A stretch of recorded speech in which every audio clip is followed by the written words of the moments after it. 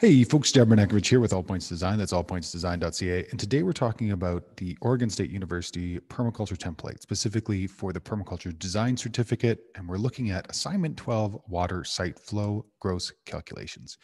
So, gross calculations is a way of getting into your water calculations. It's a easy uh, easing in, let's say it's an easing into our calculations, trying not to bring up old memories of math teachers, just very simple. And all we're doing is we're taking the area of the site, be it feet squared, so length by width, or meters squared, length by width, so either working in imperial or metric, and then the average rainfall in feet or millimeters, and then working the calculations that are on the right hand side. So if you're in imperial, you'll go feet squared by feet squared times 7.48, which 48, which can converts it into gallons, which will give you your total gallonage.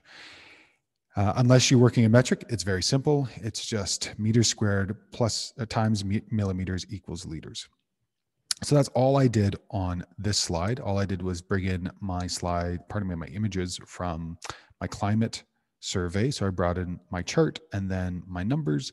I grabbed my precipitation at 418.8 and then went back up and found my uh, high, what was the high that had happened. And when we say a 100 year, 24 hour rain event, we're just saying what was the highest recorded rain event to give us a sense. And then we've got our potential total liters that falls on our site. So I have 245,416.80 liters that falls on my site. And if there's ever another same day event that happened in, I think it was 1927, uh, according to the data, it would be 56,321 and 80 liters. And that's it for gross site calculations.